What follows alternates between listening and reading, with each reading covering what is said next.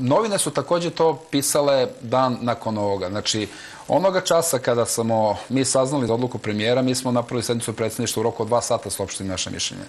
E, mnogi su se iznenadili našim mišljenjem, međutim, e, i našom reakcijom, oni koji su hteli ovo da urade su računali na podršku jedne opozicione ili dve Pretpostavljam da čak govorite o Srpskoj radikalnoj stranci. od dve opozicione grupacije, ali e, ja opet kažem, što se nas tiče, mi želimo da budemo koalične partneri sa demokratama i socijalistima, ukoliko oni žele da budu sa nama. Ukoliko žele da budu s nekim drugim, mi ne možemo da ih u tome zaustavimo i to je onda njihova stvar.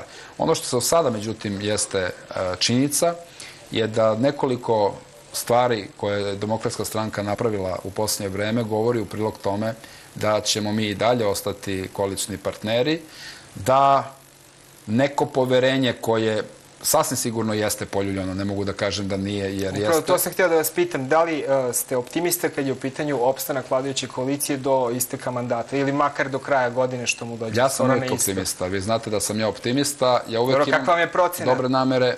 Zavisi od razuma drugih. Dakle, što se tiče nas, mi ćemo biti konstruktivni, ne zbog koalicije, ne zbog vlade, nego zbog stabilnosti Srbije. Jer želimo da naša država se ne ljulja, nego da bude stabilna. Mi imamo sad situaciju da su neki investitori stali i čekaju šta će da bude. Upravo to sam htio da vas pitam, imamo samo manje od minuta I ja, ne, ja sam posljednji koji bi želeo da oni dugo stoje. Želeo bi da što pre krenu da ulažu, jer Srbiji su potrebne investicije. S- Srbija ima visoku stopu nezaposlenosti, ali ona mora da se krene smanjivati. Kako su investitori koji su recimo bili spremni da dođu u Srbiju, kako su oni reagovali na ovu uh, krizu vlade i uh, vaša procena da će rast bruto društvenog proizvoda biti 4,5%, uh, da li i dalje stojite pri toj proceni?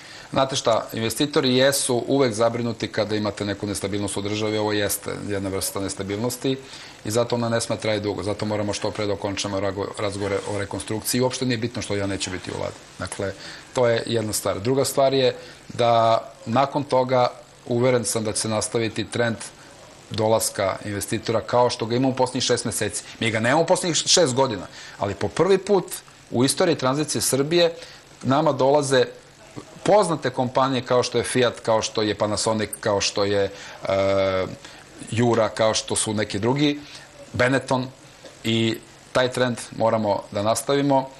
Oni čekaju, ne oni, naši građani isto ne žele da žive u nestabilnoj državi.